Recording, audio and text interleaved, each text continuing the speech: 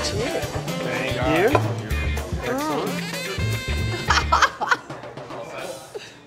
Thanks for being with us. Delighted to be here. Let me start with a question just about the predicament the country's in right now. Uh-huh. There are some people who look at what happened in Helsinki, uh, what's happened with NATO and the G7, Yeah. Mueller investigation, and say, well, we have a president who's very unusual, eccentric, but the government's kind of running on a separate track from the president. There are other people who are more alarmed who think that we're actually in a national security emergency at the moment where the uh, behavior of the president is uh, urgently problematic. What do you think? So I see this as the behavior of the president is deeply problematic. And the reason for that is he puts us in a very different place internationally. He attacks our allies and cuddles up to dictators. And by attacking our allies, he not only distances us from them, he also is basically teaching our allies they can get along without us. He's, he- he's, does the dollar have to be the reserve currency? You know, that's of enormous value to America. But if you've got an unstable leader, everybody else starts to back up and say, wait a minute, I want to rethink that. But do you think, do you have any um, belief or concern that it's more than instability, that uh, some people, John Brennan of others, have suggested that Vladimir Putin has something on him and that makes him a Russian asset? You know, Look, I- I don't know. All I can do is measure what he does. And when he stands up and attacks our intelligence agencies and attacks our law enforcement officers and then defends a country that has launched a cyber attack on the United States. And indeed seems to go wink, wink, nod, nod, mm-hmm. then boy, he is not serving the interests of the United States of America. The fact that I'm asking you that question uh, is an indication of how people's nerves have gotten jangled by the moment that we're in. When you think about what you and fellow Democrats need to do in response, do you see more of an imperative to calm, soothe, or fight? Oh, I think there are two things Democrats need to do. One is to be really clear about what we stand for, and the second is to be really clear that we're willing to fight for it. And we believe there's there's value in each of us, and that government can be a real force for good on healthcare, on helping our kids get an education, on building the infrastructure we need to build, on fighting back this horrible opioid crisis, on investing in medical research. These are the things we can do together. I think the key for us, ah, here we go. Thank you. That looks really good. Thanks. Mmm. What have I got here? Okay, this looks good.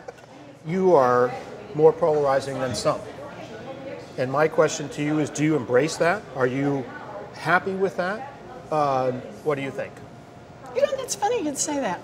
I actually don't see it that way. I- I see it as wherever I go, people know what I fight for. Uh-huh. And a lot of folks agree with me, and even a lot of folks who don't respect the fact that I'm pretty darn clear about it and pretty straightforward about my fights for it.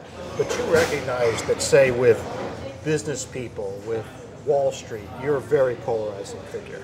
You know, look, I get that there are a lot of folks who like having the power and the riches they have. They like being able to tweak their little pinky, and the United States government does just what they want.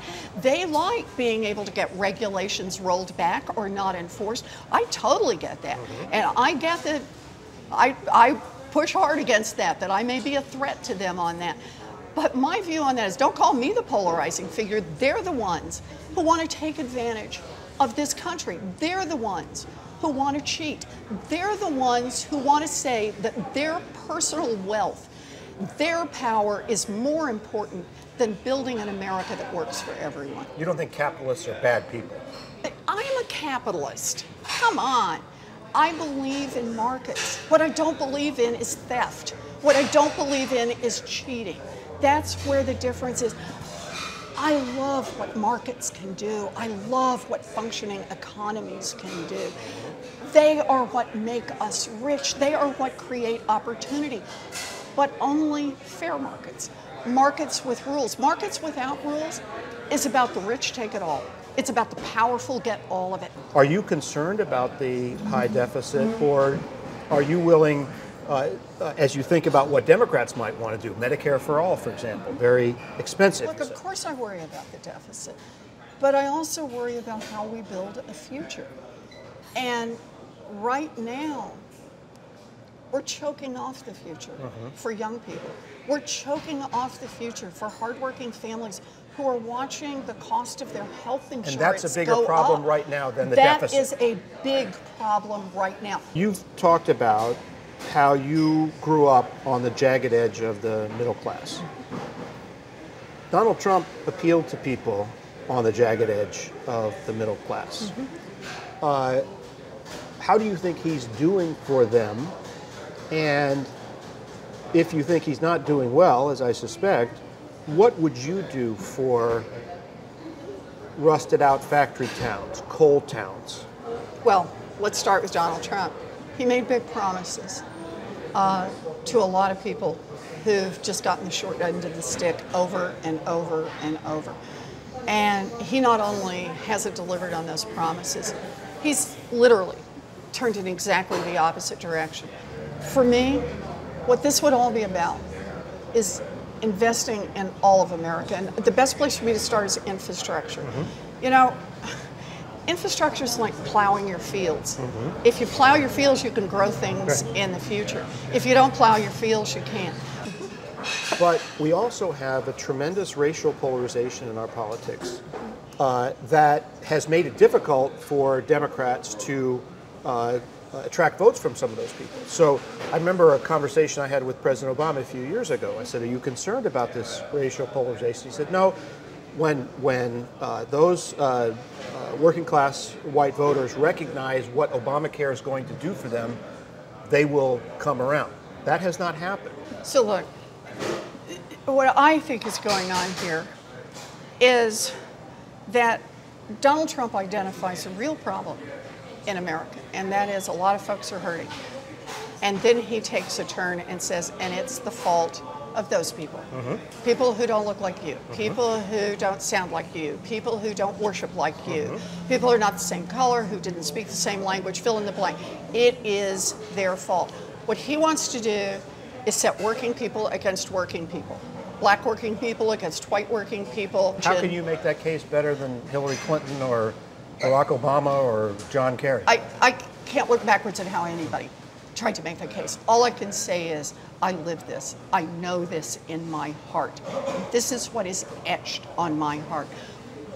We can build a government that works for us, a government that works for people who get out every day and try to build something for themselves and for their families. And if, if government is on their side, instead of on the side of the billionaires, instead of on the side of the giant corporations, this country knows no limits.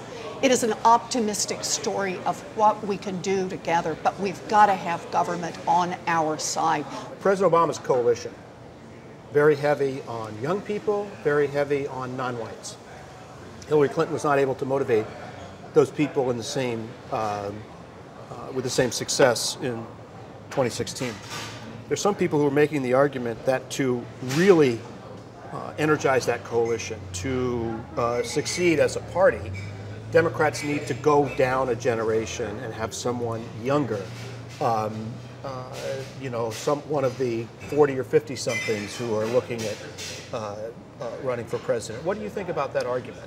I don't know. I think you need a political pundit to look at that one. All I know is why I'm in this fight. And I'm going to fight as hard as I Could can. Could you do it? Look, I'm in the fight right now. Right now, we better stay focused on 2018.